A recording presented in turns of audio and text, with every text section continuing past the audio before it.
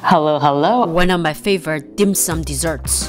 First, get some of those tart shells at Asian market. You only need 5 minutes to put the custard filling together, milk, sugar, eggs, and heavy cream. Warning, here's your warning, something gonna happen next. View unwanted ingredient, just jump in. I can't even save myself. Keep smile, feel the tar shell. Cooking can be hard sometimes, and I have to feel myself. There are so many different kind of flavor already on my camera. Look at that, fresh out of the oven. Mmm, melted, melted.